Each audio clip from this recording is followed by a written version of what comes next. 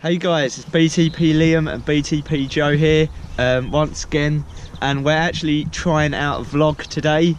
We're here at a um, medieval salt making site. Um, we're not sure how much is actually left um, but hopefully we'll see something interesting. We're also going to check out a wartime concrete barge used in D-Day later. Um, down here actually we've got something quite interesting.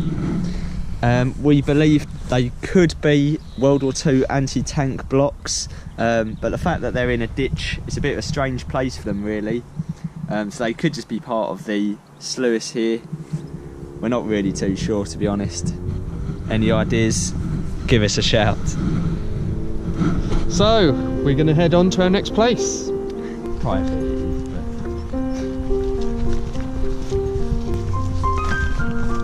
Don't know what I'm stepping in.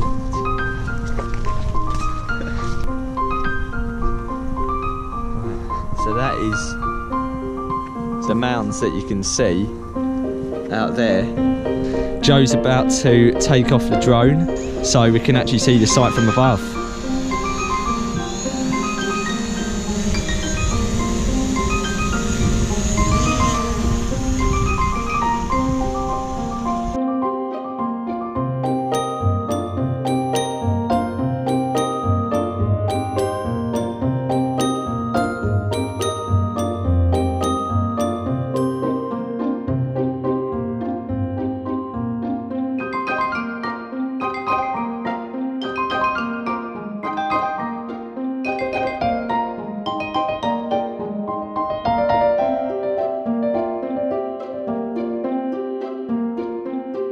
Going up onto the top one now. It's quite a strange place to be honest. So this here looks like a pit from some of the salt making. Maybe where either water would have been evaporated or the salt would have been gathered. And then we've got this tall structure. Obviously, over time, the land would have had different uses as a farm, uh, and today there are cows on the site, so um, that Yeah. would have contributed to the shape of this a bit. But from above, I mean, there, Not you see them water lines, you can really clearly see the uh, different salt channels. Yeah. Can. To, to think this has just been like this for like 500 years or more, it's quite impressive to be honest.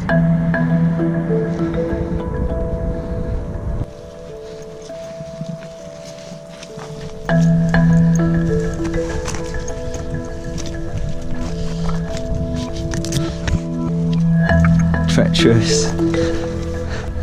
So just about to get in the motor.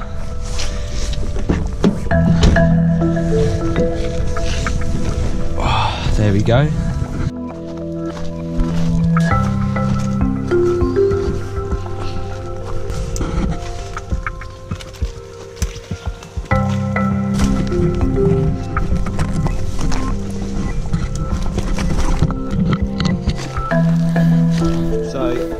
The barge right there. Um, so it's from World War II. It was used in D-Day. Um, they were used as supply um, storage areas. And here we are with the barge. It's impressive how big it actually looks when you're standing at the bottom of it. It's actually massive. Um, still got some wood on here. The Uh, wood presumably is to just stop it from hitting into other things when it's moored up. Yeah, yeah. And there used to be one of these on Canvey Island, uh, which is remembered quite fondly, although it did get demolished in 2003.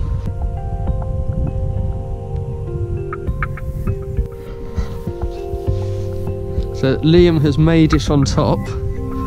Had to get a bit of a boost up with Joe. It was quite awkward to do actually, but managed to do it. Uh, it's really interesting actually because some of the metal hatches um, are still intact. Don't know if you can pass that up from here. So if you have a look over here, got some of the metal features such as this hatch still perfectly intact which is pretty cool It's all waterlogged inside. Um, but it looks pretty big in here, to be honest. Considering it's just one boat. Got another hatch here. Waterlogged. Some nice metal details on that. I don't really know what all that would be used for, to be honest. But there's lots of hatches. Some kind of rubbish that's been dumped in there. The thing is, there's no real way down. If you were to get stuck in there, I don't think you'd be able to get out without a ladder, honestly. Yeah, I mean, there's a, a ladder, but it's not propped up.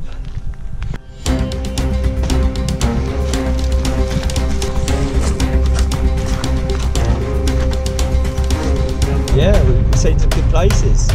So um, I hope you've enjoyed this new kind of video, um, going for the vlog style.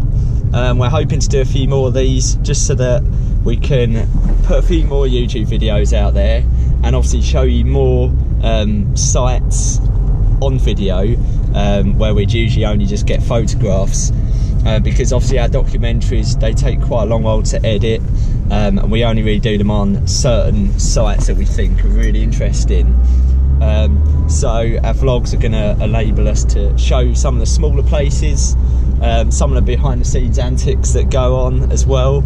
Um, so I hope you enjoyed it. Let us know what you think of um, these videos. Yeah. So And that's it for another day. yeah. Well see you later. Stay tuned